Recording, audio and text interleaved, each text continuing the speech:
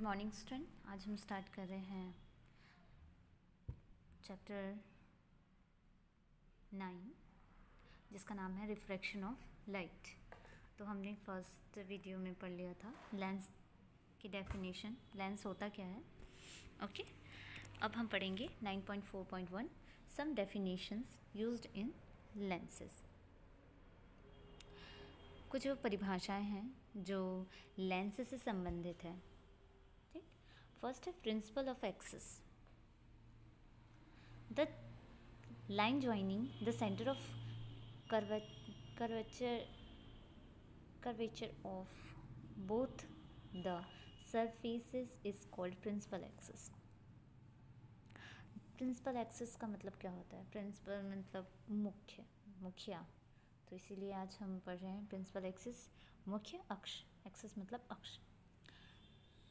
तो आप लेंस देख लेते हैं, चाहे आप कॉन्वेक्स लेंस देखें, चाहे वो कॉनकेव लेंस देखें, उनके सेंटर पार्ट से जो रेखा जाती है, सेंटर पार्ट से जो रेखा जाती है, जैसे सी वन सी टू देख रहे हैं, लाइन दे रहे, देख रहे हैं आप, उसे ही हम क्या कहते हैं? प्रिंसिपल एक्सिस मुख्य अक्ष कहते हैं। चाहे वो आप कॉन्वेक्स कॉन्वेक्स लेंस में देखें, चाहे वो कॉन्वेक्स कॉन्केव लेंस में देखें। सेकंड है ऑप्टिकल सेंटर प्रकाश केंद्र. ऑप्टिकल प्रकाश और सेंटर मतलब केंद्र. This is the centre of the lens from where rays pass optical centre उसे कहते हैं कि जहाँ से भी आपकी जो रेजेस होती है, वो पास होती है लेंसेज में से. देखिए, ये वाली जो आप लोग देख रहे हैं रेजेस जो पास हो रही है, यहाँ पर जो एरो वाला देख रहे हैं, ये, चाहे वो आप कॉन्वेक्स लेंस में देखिए, चाहे वो कॉन्केव लेंस में देखिए, जहाँ से भी आपकी रेजेस पास होती है, उसे हम ऑप्टिकल सेंटर कहते हैं मतलब प्रकाश प्रकाश जहाँ से पास हो रही है, गुजर रही है, प्रकाश केंद्र कहलाती है। थर्ड है principal focus the point at which the light rays parallel to the principal axis after passing through a lens converse, in convex lens, and appear to diverge its concave lens is the principal focus. Principal focus क्या होता है? मतलब मुख्य focus principal मतलब मुखिया मतलब मुख्य, और फोकस तो जो मुख्य अक्ष जो होता है प्रिंसिपल एक्सेस होता है, उसके समानांतर जो भी किरण, जो भी रेजेस मतलब पैरलर जो भी लाइट्स है, वो पैरलर निकलती है। समानांतर निकलती है। उसके बाद वह मुख्य अक्ष के जिस बिंदु से, मुख्य अक्ष के जिस बिंदु से होकर निकलती है।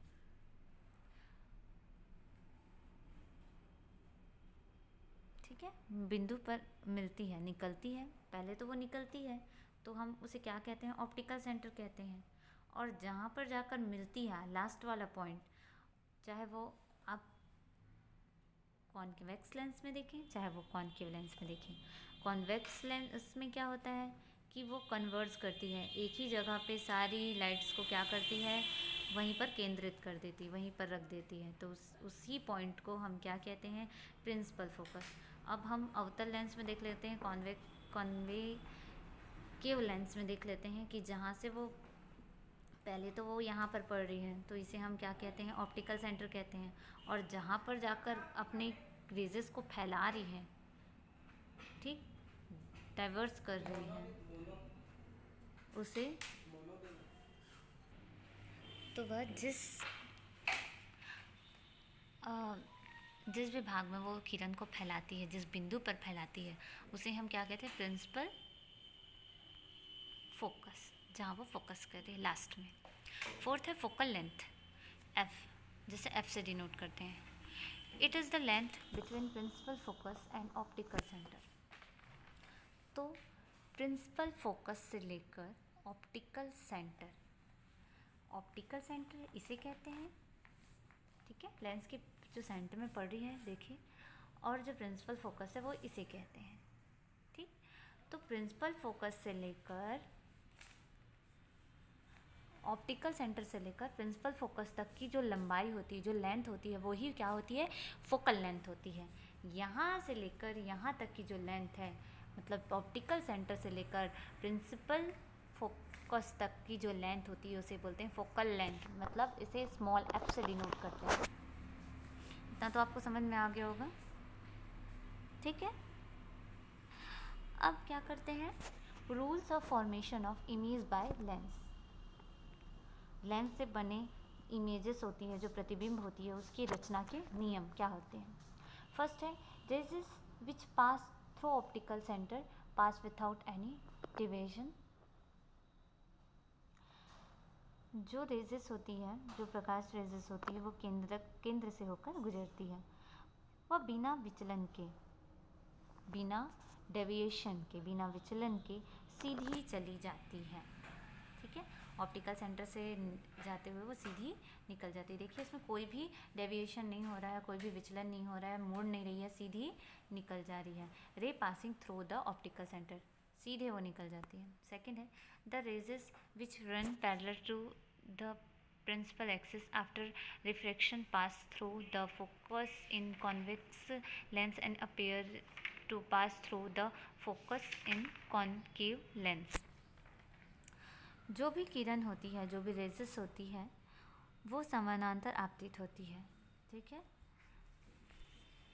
पैरलर पड़ती है और प्रिंसिपल एक्सेस से होकर गुजरती है। प्रिंसिपल एक्सेस मतलब? ये वाला देख रहे हैं आप सीधे? ये प्रिंसिपल एक्सेस से होकर गुजरती है। क्या? रेजेस जो होती है, वो प्रिंसिपल एक्सिस को काटती हुई गुजरती है।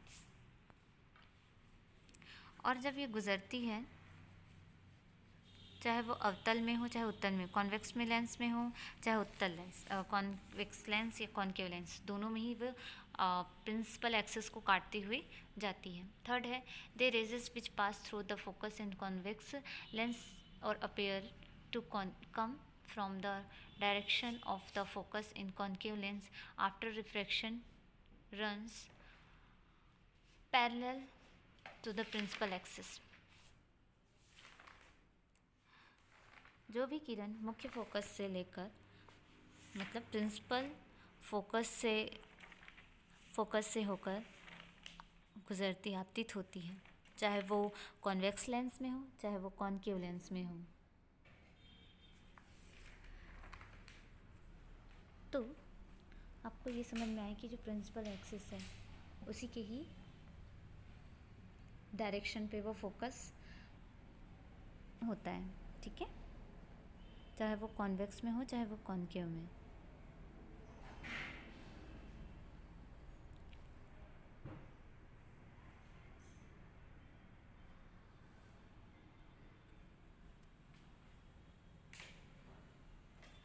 तो हम अब पढ़ लेते हैं activity six demonstrated by teacher शिक्षक का द्वारा प्रदर्शन. मॉडरी requires convex lens and paper आपको सिर्फ़ उत्तर लेंस चाहिए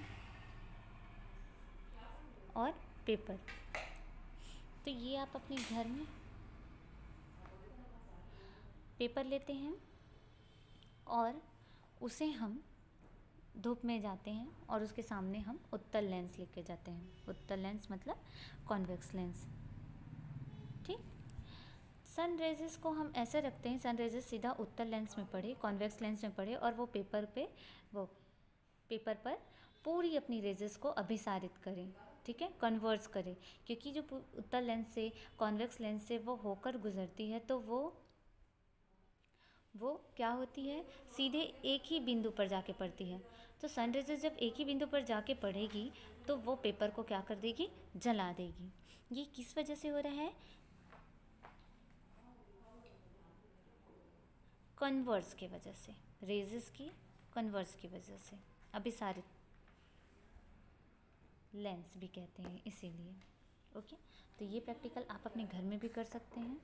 ओके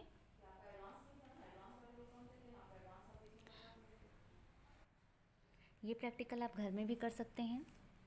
देखे होंगे कि सन की रेजेस जब एक एक उसमें पड़ती है एक बिंदु पर पड़ती है तो वो पेपर को जला देती है। ठीक है? Formation of image by convex lens Uttar lens से इमेज का बनना, प्रतिबिंब का बनना कैसे बनता है? कॉन्वेक्स लेंस देख लेते हैं। Convex lens screen three blocks of wood matchbox pins nails अब आप क्या करते हैं? एक कॉन्वेक्स लेंस लेते हैं और उसे हम लकड़ी के गुटके में इस प्रकार फंसा देते हैं। ठीक है? कॉन्वेक्स लेंस को। अब दूसरे गुटके पर क्या लगा देते हैं? मोमबत्ती लगा देते हैं। सामने देखिए पिक्चर में। और तीसरे गुटके पर पर्दे को आलपिन से फंसाते हैं और पर्दे में पूरा वाइट पेपर लगा दिए हैं ठीक अब उसे फंसा दिए। फंसाने के बाद पर्दे को इस प्रकार फिक्स करते हैं मतलब इस पार्ट को इस प्रकार फिक्स करते हैं कि आगे पीछे हम सरका सकते हैं, ठीक है? इस गुटके को हम आगे भी ले जा सकते हैं, पीछे को ले जा सकते हैं, ठीक है? मोमबत्ती की लौ का प्रतिबिंब अधिकतम चमकीला होता है, ठीक है? बहुत शाइनिंग होता है, बहुत शाइन करता है। अब आप उसकी मोमबत्ती की दूरी जैसे बढ़ाते हैं। प्रतिबिंब की दूरी दूरी भी, प्रकृति भी बदलती है। तो इसमें हमने पहले इस तरीके से फिक्स कर दिया। और जैसे ही हम मोमबत्ती की दूरी को बढ़ाते हैं, उसकी प्रकृति भी बदल जाती है। इस लेंस का जो यहाँ पर प्रतिबिंब है, वो बदल जाता है। ओके? दूरी बढ़ाने से ही प्रतिबिंब में चेंजेस आने लग जाते हैं। आप भी अब, आप मिरर के सामने खड़े होइए और आप अगर पास आएँगे तो आप थोड़े बड़े दिखाई देते हैं ना? और जब आप दूर जाते हैं तो थोड़े, कैसे दिखता है? तो वैसे ही इमेजेस यहाँ पर उल्टी बनती है, ठीक है? कैंडल की जितनी भी इमेजेस होती है, जो पर्दे में बनती है, वो उल्टी बनती है, जैसे आप पिक्चर्स में देख सकते हैं, ठीक? अब क्या करेंगे? Image formed by convex concave lens जो इमेज होते हैं, जो अवतल लेंस से बनते हैं कॉन्केव लेंस से बनते हैं, वो कैसे होते हैं? तो इसमें जो होते हैं, जो प्रतिबिंब होता है, वो क्या होता है? वो हम कैसे बनेगा प्रतिबिंब, इस बारे में भी पढ़ेंगे। कॉन्वेक्स लेंस लेते हैं कैंडल लेते हैं। आप पढ़ चुके होंगे सेवन क्लास में। कि जो इमेज होते हैं, वो कॉनकेव लेंस में कॉनकेव मिरर में कैसे बनते हैं? You must note that mirror reflected the light rays on the other hand lens reflects the light rays जो भी अवतल दर्पण में या अवतल दर्पण में जो भी इमेज बनते हैं, उसके बारे में हमने पढ़ा है। लेकिन जो दर्पण है, उसमें प्रकाश का क्या होता है? रिफ्लेक्टन रिफ्लेक्शन होता है। जबकि लेंस में क्या होता है? रिफ्रैक्शन होता है। जो मिरर में होता है, वो क्या होता है? परावर्तन होता है मतलब रिफ्लेक्शन होता है। लेकिन जब आप लेंस में आप देखेंगे तो रिफ्रैक्शन होता है, अपवर्तित होती है। इसीलिए आप लेंस के सामने कोई भी वस्तु रखते हैं, कोई भी चीज़ रखते हैं, सदैव उसका आभासी और छोटा प्रतिबिंब बनता है, जैसे आप पिक्चर में देख सकते हैं, ठीक है? उसका एक छोटा प्रतिबिंब बनता है। ओके? देन आप देख लेते हैं। एप्लीकेशन ऑफ़ लेंस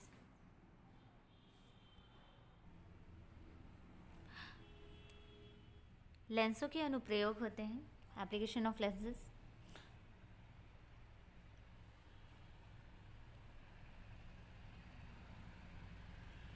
इसमें देख लेते हैं। Magnifying glass water lenses microscope magnifying glass आप तो देखे होंगे actually it is a convex lens for proper handling the lens is fixed on a frame with the handle this is use to make small object bigger and to get direct image this is also called simple microscope the eyes lens use by watch repairers and also magnifying glasses तो magnifying glasses आप देखे भी होंगे कि किसी भी चीज़ को वो बड़ी करके दिखाती है। तो इसमें किस लेंस का यूज़ होता है? कॉन्वेक्स लेंस का यूज़ होता है।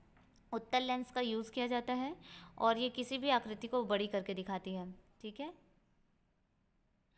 जिसे हिंदी में कहते हैं आवर्धक लेंस। इसमें एक हैंडल बना होता है जिसकी वजह से आप करते हैं, ठीक? और किसी भी चीज़ को आप सीधे देख सकते हैं। इसे हम सरल सूक्ष्मदर्शी कह सकते हैं, सिंपल माइक्रोस्कोप। ठीक? घड़ी और कुछ भी चीज़ रहती है जो बहुत छोटी रहती है, उसमें का जो भी पार्ट रहता है, बहुत छोटा होता है, उसे देखने के लिए हम मैग्नीफाइंग यूज़ ग्लास का यूज़ करते हैं। सेकेंड है वाटर लेंस माइक्रोस्कोप जो वाटर लेंस माइक्रोस्कोप ये क्या होता है? तो हम एक्टिविटी नाइन की मदद से देख सकते हैं। Sole of old rubber slipper saw bolt of two inches ten centimetre of G I wire mirror और shining plastic fused torch bulb candle matches metal pipe और metallic cap of a pen and divider of geometric box अब आप क्या करते हैं? सबसे पहले एक डिवाइडर की सहायता से डिवाइडर की मदद से आप फ्यूज़ हुआ टॉर्च बल्ब का धातु वाला भाग को अलग कर देते हैं। देखिए, जो धातु वाला भाग है, उसको हम अलग कर देते हैं। देखिए, इस तरीके से। अलग करने के बाद उसके फिलामेंट को निकाल देते हैं। अंदर में जो भरा हुआ फिलामेंट होता है, जो वायर्स होते हैं, उसे हम निकाल देते हैं। बल्ब को आरी से काटिए। अब बल्ब को पानी से भरकर उसे जलती हुई मोमबत्ती से मोम टपका कर सील कर दिए जो जो उसका पानी भर लिए, और भरने के बाद इसे मोमबत्ती जलाकर उसके बाहर को सील कर दिए, पैक कर दिए। अब बल्ब को, अब हमारा क्या हो गया? लेंस तैयार हो गया है। क्या तैयार हो गया है? मेकिंग बल्ब लेंस तैयार हो गया है। और आप इस तरीके से आप फंसा कर उसे देख सकते हैं। ओके? Water lens telescope. अब वाटर लेंस, अभी तक दूरदर्शी देख सूक्ष्मदर्शी देखा था, ठीक है? अब हम क्या पढ़ेंगे? वाटर लेंस दूरदर्शी पढ़ेंगे ठीक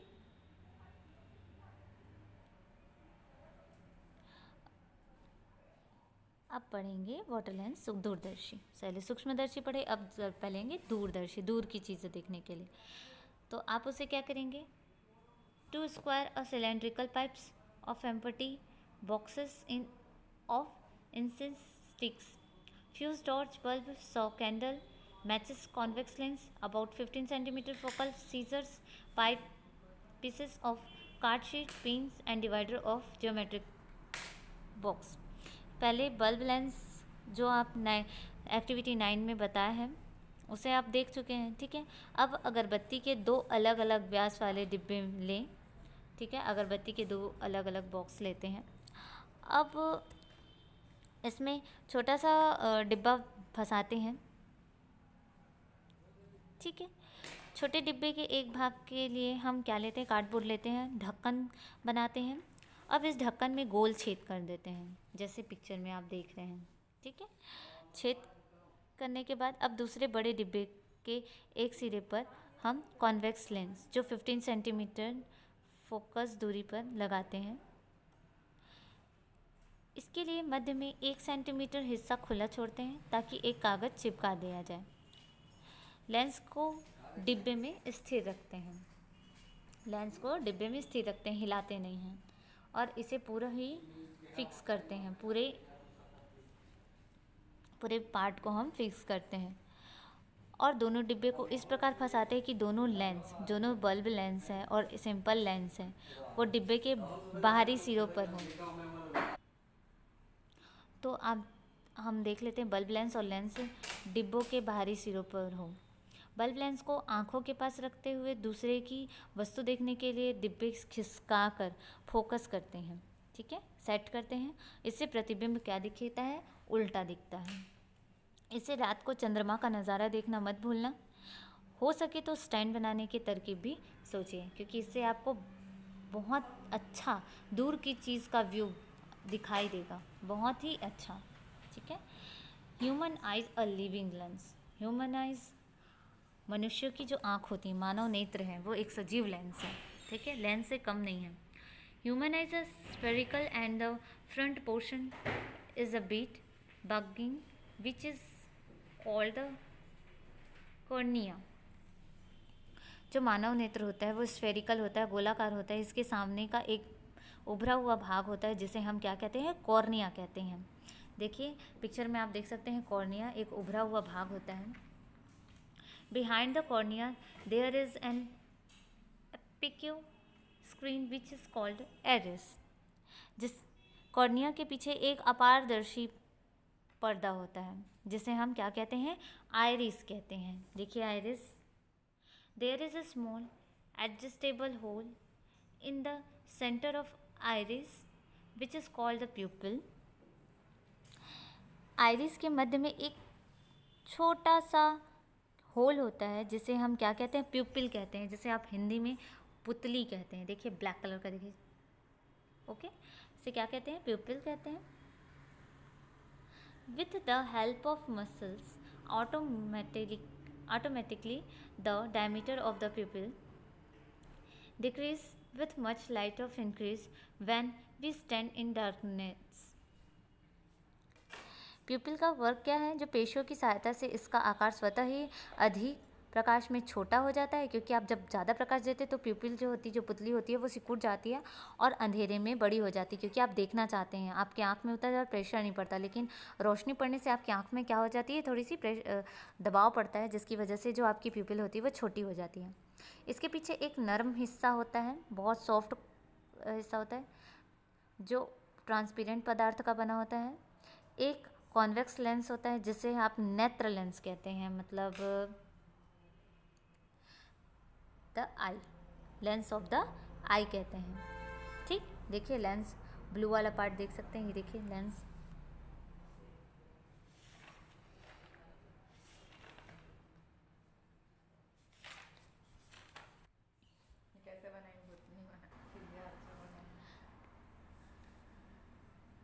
तो वही है कि जो पारदर्शी पदार्थ होती है, पारदर्शी झिल्ली होती है, नेत्र लेंस के पास जो पारदर्शी झिल्ली होती है, उसे हम क्या कहते हैं, रेटिना कहते हैं। जो ह्यूमन में हो, उसके सामने स्थित वस्तु का वास्तविक प्रतिबिंब जो आप इमेज देखते हैं, वो नेत्र लेंस द्वारा रेटिना पर बनता है।